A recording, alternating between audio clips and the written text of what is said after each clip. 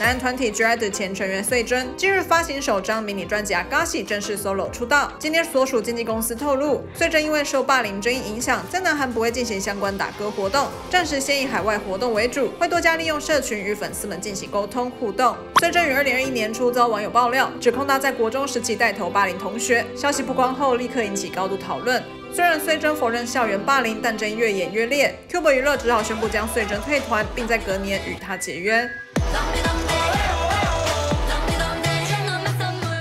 穗珍沉寂两年，重新以 solo 身份复出，让许多粉丝相当开心。之前穗珍受访时也特别提到，等待他的粉丝很对不起，也很感谢大家，会更努力活动，让大家更常看见，未来一起共创更多美好回忆吧。